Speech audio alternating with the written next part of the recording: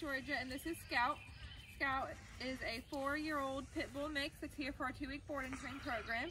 The owners don't have any main complaints. They said overall she's a really good dog, um, but sometimes she does pull on the leash. Sometimes she gets too excited when the kids are playing. She can get a little bit mouthy um, and chase them when they're running around.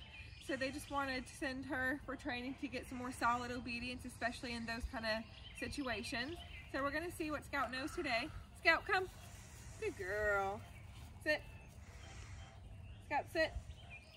Good girl. Down. Down.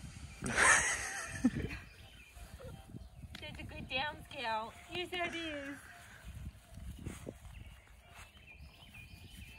Scout, heel. Heel. Scout, heel. Heel. So she does have a good basic handle on um, sitting down, come.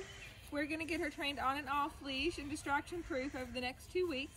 So check back in to see everything that Scout has learned.